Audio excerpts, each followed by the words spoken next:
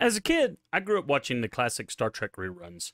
I loved the adventures of Captain Kirk, Mr. Spock, Dr. McCoy, Scotty, and the rest of the original Starship Enterprise crew. So when Star Trek The Next Generation was first announced, I was unsure. However, the series soon won me over, and I was a hardcore fan through 2005. Unfortunately, JJ Trek and subsequent Kurtzman Trek were so bad, it put me off Star Trek for what I thought was forever. And that included the terrible Picard season. Thus, when Picard S3 was first announced, my first thought was, yeah, get the heck out of Dodge. The heck do I want with this? Rubbish! Garbage! But then people whose opinion I respect, who also hated all the Trek since 2005, started saying, well, Picard season three is actually pretty good. And so, ever so reluctantly, I gave Paramount the a subscription and gave the first episode a look see.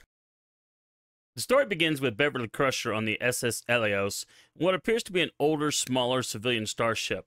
The Eleos gets boarded by a couple of unknown aliens. Beverly locks her companion safely away, then kills the intruders, one execution style. However, Beverly is injured and so sends a coded message to Admiral Jean Luc Picard. In France, Picard is getting ready to move off planet with his Romulan housekeeper. He detects a badge chirping from one of his trunks. It is his old communicator from the Enterprise D. After decrypting the message, Picard seeks out his former first officer, Captain William Riker. The two come up with a scheme to help Beverly, who's apparently outside Federation space, by staging a surprise inspection aboard the newly refit USS Titan, Riker's old command. Meanwhile, a Starfleet intelligence officer named Raffi attempts to get some information on a weapon of mass destruction. She's given a clue about Red Lady.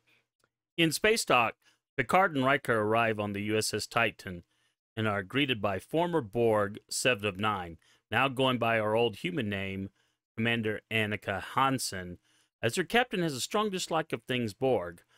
After a tour of the Titan, the ship sets out for its Frontier Day destination. At dinner with Captain Shaw, Riker and Picard learn that he's a by the book officer and does not approve of their old adventures, no matter how exciting. As such, he declines their request. Picard and Riker go back to the drawing board, only to be summoned by Seven. She demands the truth, so they open up to her. She takes him to the bridge where they find they are at the nebula that Beverly's supposed to be at. Seven arranges it so they can steal a shuttle. Shaw finds out and is not happy.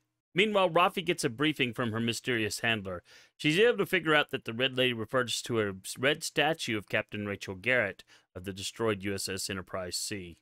She takes her ship there in time to see a Starfleet building fall into a portal and they get deposited yards away, destroyed. At the nebula, Riker and Picard board the Eleos. They find evidence of a firefight and find Beverly in a stasis pod. Riker is captured by a man who claims to be Beverly's son. About that time, a large alien spacecraft approaches. The first thing of note about Picard Season 3 are the member berries. There is so much fan service in this episode, and yet it isn't fan service overload, at least not to me. That said, I loved seeing the different things in Picard's home, from the various TNG episodes. Ditto the Eleos, where we see many things from Beverly's of Beverly's from the TNG series. But it doesn't stop there. There are minor but clear nods to TOS and TNG movies from fonts used to musical elements. There are videos out there documenting all of the various Easter eggs, so I won't go into those here. Nevertheless, while it was clearly bait for OG Star Trek fans, I think it was needed to help get rid of the stench of the JJ and Kurtzman Trek era. It was as if showrunner and writer Terry, Terry Matalas was saying, you know, I know all this new Trek has been rubbish, but I'm actually a fan, and here are my credentials. I know what I'm talking about. That aside, in terms of story, Riker and Picard's plan to get Beverly was pretty stupid. However, the Riker and Picard team up was pretty amazing. I've always liked Riker as a character, but in this episode, he really gets a chance to shine. And in my opinion, I liked his uh, his banter and everything. I liked his jokes about how they were getting older, even though Picard is still an elderly android from the previous seasons. And that's insanely stupid, but thankfully, the story just ignores this aspect of the character. Beverly is a rather kick ass kind of character in this episode. Not sure why she has a shotgun phaser, but I let it pass. And man, she executed one of the downed aliens. That surprised me, but I don't disapprove. After all, this is an older starship, and it is her home, and her home was invaded. As such, death to fools who invade my turf. I also appreciate that even though she fought off those who boarded her ship, she was still injured enough that she had to go into stasis. New character Captain Shaw is brilliant in the episode. I couldn't help but be reminded of Captain Styles in Star Trek 3 or Captain Jellicoe in TNG episodes Chain of Command Parts 1 and 2. There's nothing wrong with Captain Shaw's by the book approach, and he has a record to back it up. That said, Shaw did get some funny lines, including explaining the reason that he started eating without them and Picard's uh, that Picard's reputation preceded them into the room. I'm looking forward to seeing where the season takes the Shaw character. As to Raffi, she's a pretty terrible Starfleet intelligence officer. I understand she's a carryover from the first two seasons. However, after getting some info, why would you whip out a communicator in a very seedy and public place, loudly proclaiming your name and that you want a debriefing from your handler in Starfleet intelligence? Regarding Seven, I like seeing her again after liking the character in Voyager. I know she was in an earlier Picard, but here she's a proper Starfleet officer. Not sure how she became Shaw's first officer, though, since he hates the Borg. Also, after Shaw found out she betrayed him, I don't know why she wasn't thrown into the brig. Part of me thinks deep down Shaw knew that Picard and Riker wouldn't do this for nothing, and thus wants his first officer close at hand for better insight into those rogue officers. My biggest complaint about the first episode is that it's too dark visually.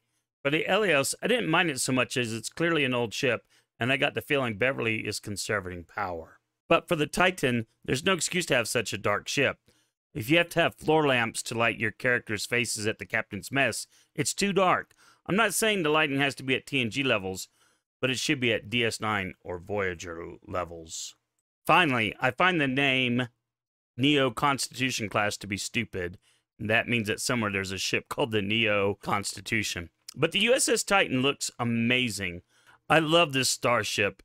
I cannot wait to see it in combat, fully functional. Man, this thing just looks just awesome as it can be. In the end, Picard Season 3, Episode 1 was a good start, and what I wished Picard Season 1 had been. Thankfully, I didn't need to have watched those first two seasons of Dung to enjoy Season 3. And for a person new to Trek, I don't think this is a bad entry point. The fan service would likely tempt folks to go back and watch TNG or the OG movies, and that's not a bad thing. And as for me, I'm happy to support good Trek, and I'm looking forward to seeing the next episode. But what did you think? Let me know below, like, subscribe, and all that other stuff. We'll see you in the next video.